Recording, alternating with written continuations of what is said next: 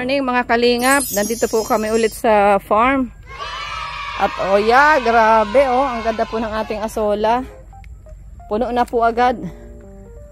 Sis Marlene, 2 weeks lang ano? Ayan, ma-harvest po kami ngayon. Sige Drex, Kuya Drex, kuha ka. Yan, nandito rin po si Susan. Ay, grabe oh. Marami pala yan oh. Ano na yan? Yeah, one fourth na yan. Mga isang kilo lang siguro. Yung ganda. Na, mabili pala tayo ng ano, yung parang pang salaan. Yung pang ganun, pang uha. Ayan. Sige pa, dagdagan pa ninyo.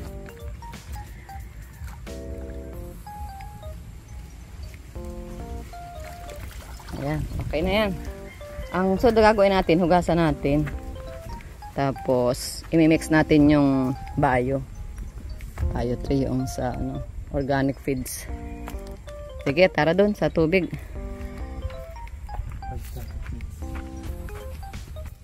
Eh mga kalingap, darating lang po namin kaninang umaga. Si Aling Pilar. At ngayon, dito kami sa, ayan o, oh, inalpasan muna, pinakawalan muna yung mga nakakulong para malaya sila rito sa labas makakain ng ano ng mga damo. Ayan. At dinala ko na rin po dito yung dyan mo lang. Yun pong nahatch. Ayan yung pong unang pinahatch namin. Ayan. Meron ng nahatch po na apat. Yung sabi kasi dun sa ano pina-hatch namin. Kapag bagong mga unang itlog pa lang daw po, mga hindi pa fertile. Kaya halos yung 14, hanim lang ang na-hatch.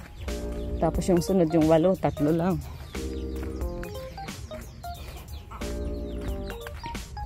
Ayan, Ate Susan, hugasan natin. Hugasan lang yan kasi yan ay may ano, may dumi ng hayop. Tapos, kaya mo direct yung ano yung binili natin na feeds. O yung sako maliit. Ano pa dito? Yung ano, yung buy tray. Oo, Hindi ako ng buy tray. Eh. Wala akong pera dito. Pwede rin yan sa baboy. sa feeds din, ihalo mo rin. Dry feeding.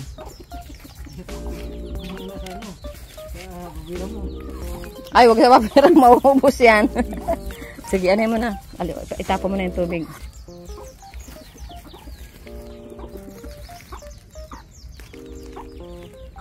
Bumili muna tayo ng ano lang, ng 10 kilos lang po na bio 3. At kaunti pa lang naman po yung manok.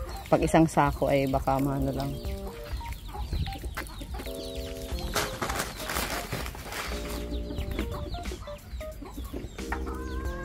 Ayan, kuha ka ng pang ano, pang pang ganun oh. Pang halok. Sige.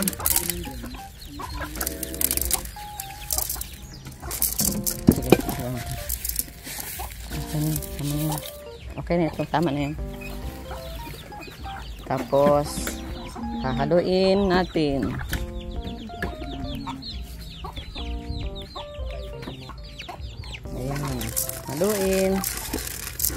Ay nako, sarap niyan.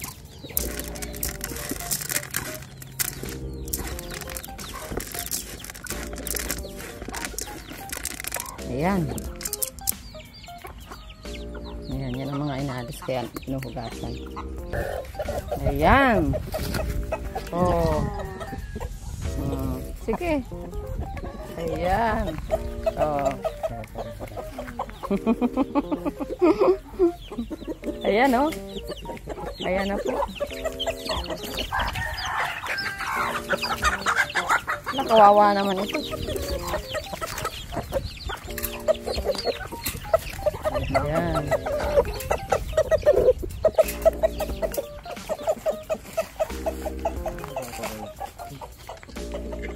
Kaya ang pakain umaga at hapon lang.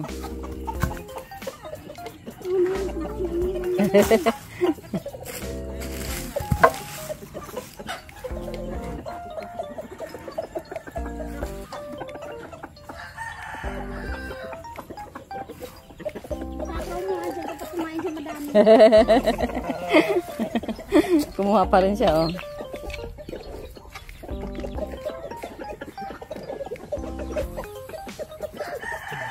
Takaw.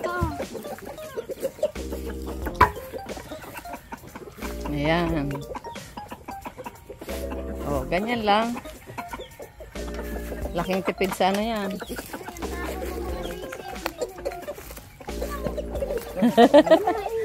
oh, pati mga sisiw din. Ayan na, nakisama ka na dyan. Gusto niya may kasalo. Mm -mm. Ang ganda ng ano, ano.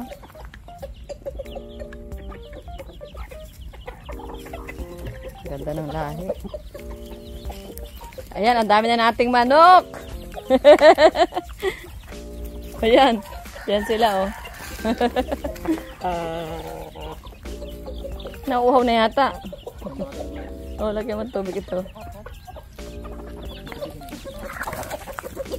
Yan, oh. Tinatapon man Ginaganyan lang sa kanya. Mm Dami ng manok, oh. Hindi, maano rin yan. Kakainin yan yan. Kakainin yan yan nila. Hmm, kinakain din baga. Kakainin yan. Tapos pag may mga ano na yung dahon ng Madre de Agua, tapos ipil-ipil, malunggay, yun, tinatagtad yun. Tapos ganyan din, ipiperment lang ng siguro mga 6 hours. Lalagyan ng feeds, lalagyan ng ano, tapos tatakpan. Anim na oras. Medyo malambot-malambot na yun. Oh, yung mga tinanim natin dyan, ang malunggay, ang kangkong.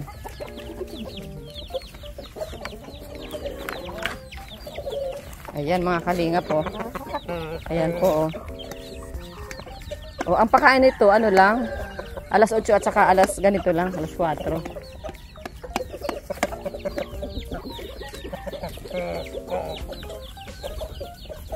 Ang dami na. Oh, pati naman yung mga native. Oh, nakiki ano din oh. nakiki. Siya na yan yung iniwan ni Lodel? Hindi. Yan yung nanay niya. Oh, kinakain ba ganyan oh? Tama yung black astrolor po, kinakain yung dahon oh. Yan mga kalingas, buwan takaw niya oh. Mm.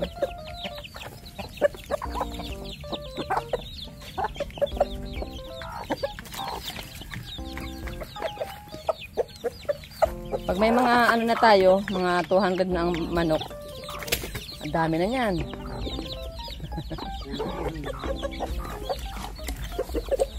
Hindi, kailangan ko pa ng mga babae nito.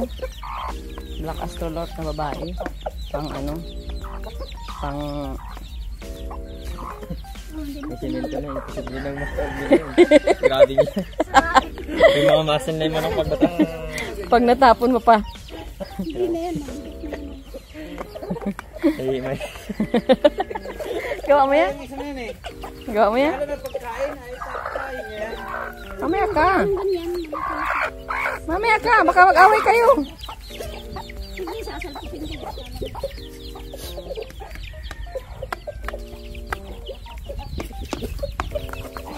Kaya mo ng laki.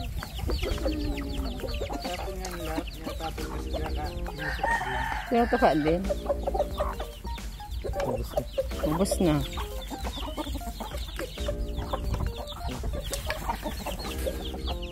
Laking ano, laking tipid sa feeds pag may ano, mga tapos ano pa, healthy pa sila.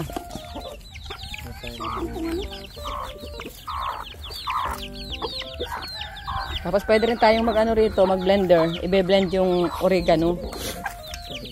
Mm. Oregano, yun ang ilalagay naman sa inumin nila. Gamot yun. So, para hindi sila sipunin, yung malakas ang resistensya nila. Parang sa akin naman, parang kailangan ko ata. O yan, mag-ano ka rin. Mag-oregano ka din.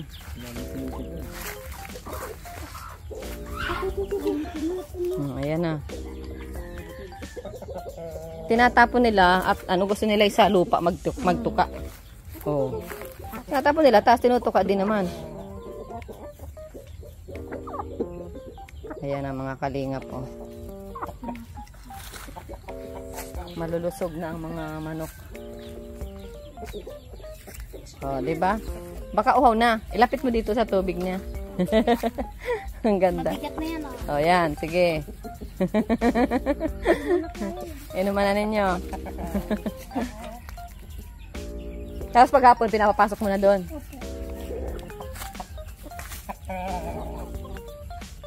Yung manok ni Kakay, nawala na naman. Tapos, at nandun na naman sa kapitbahay. Bahay naman. doon yun napunta at may mga manok doon ay binibigay naman ng kapitbahay pag ano. Kukain na po namin yung manok namin. Nandyan. Kaya alam ko na pag nawawala yun, doon yun napunta.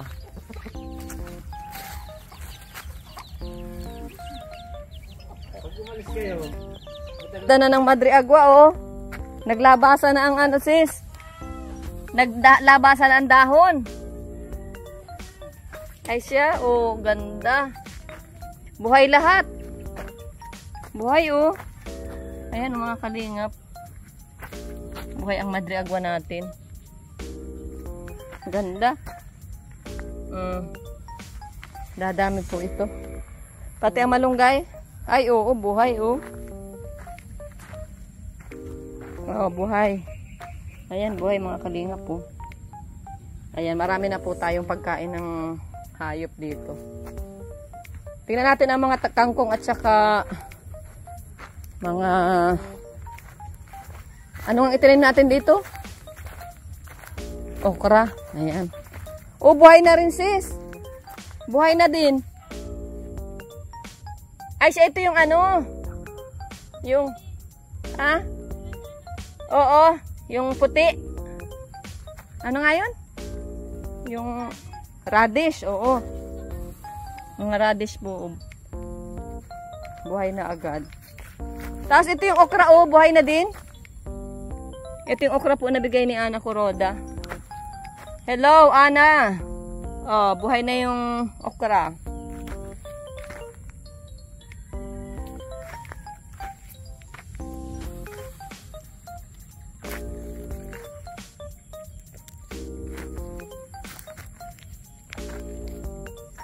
Po yung ano, kangkong.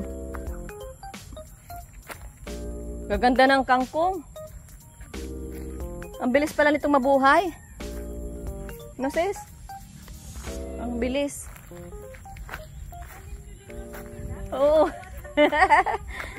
kinuha, kinuha na namin ng ano, ng gulay. Nag-adobo na kami ng kangkong doon.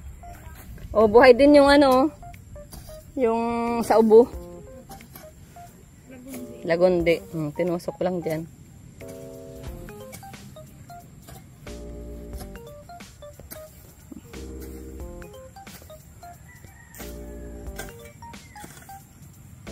Ganda, no?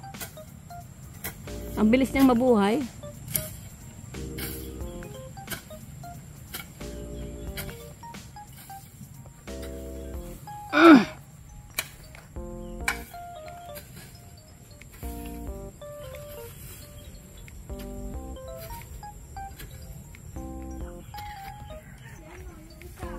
Wala. Namamasyal na. eh mga kalinga po, yung gusto pong umorder ng asola, murang-mura lang po. Ang kilo nito, 50. 50 ang kilo by 3 plus 1. Yan. Pag bumili kayo ng 3 kilo, may libreng 1 kilo. Kaya sis, kaya nito ang ano, 4 kilo baka mag-order na tatlo, wala na maibigay.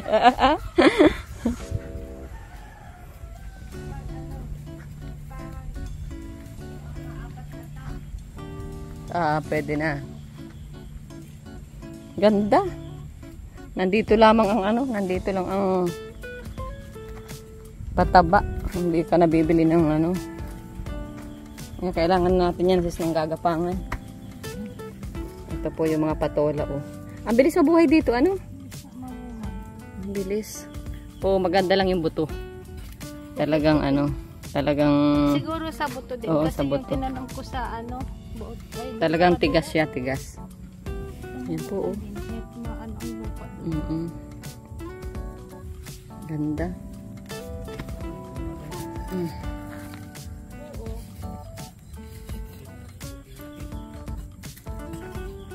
Ito ana o yung kamatis.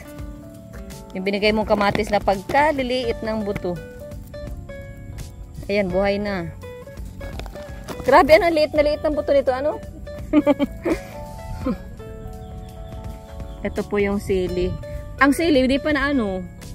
Ibig sabihin, pangit yung ano niya. Buto. O late lang siguro, ano? Sana mabuhay din. Ayan po mga kalingap. Ito po ang mga kaganapan dito sa aming farm ngayong hapon. Linggo ng hapon. Marami na po tayong naitanim. Salamat mga kalingap. God bless. Ayan o, may itlog na naman tayo. Ano ito, Susan? Dami oh. Ilan ito lahat? Ano po yun? 5, 10, 15, 20, 23. Dami. Ano, ano na lang yata ang kulang mga isang. Oh, talaga. Oh, di ba? Pag marami kang ganyan, pag, pag marami na tayong inahin, ang gagawin natin, pwede na tayo magbinta ng itlog. Ano? Paparamihin muna natin ngayon. Yung mga sisiw.